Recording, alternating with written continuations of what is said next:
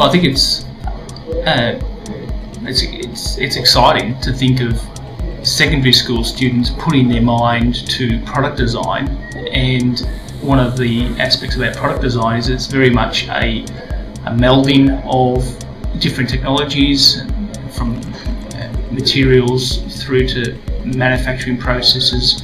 Um, and then considering the, the user within all of that. And so you always you've always got your eye on what's this for, who's going to use it, where are they going to use it.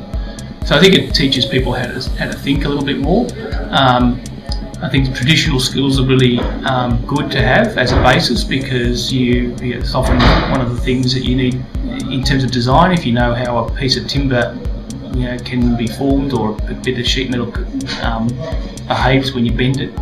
Um, but I think it is more sustainable to actually be across the thinking of what it needs to do rather than rather than to focus too much on on um, um, sort of more practical skills. So I think that approach is pretty good, and it's exciting to think that uh, in a way product design is reaching the mainstream. When I did it, um, no one knew what it was. so if they're teaching it at secondary school, it's like um, yeah, we've sort of made it. Okay.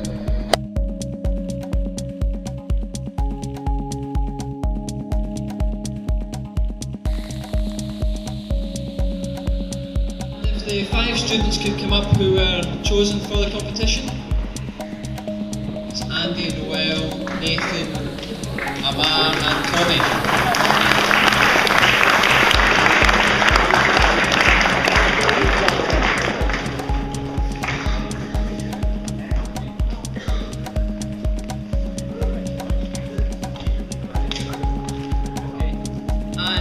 We'll just announce the winner straight away. After all of the episodes, the accumulated points, uh, the final episode actually being judged by a professional uh, product designer at a local company. Uh, I'd like to congratulate Noel on the iPad 2.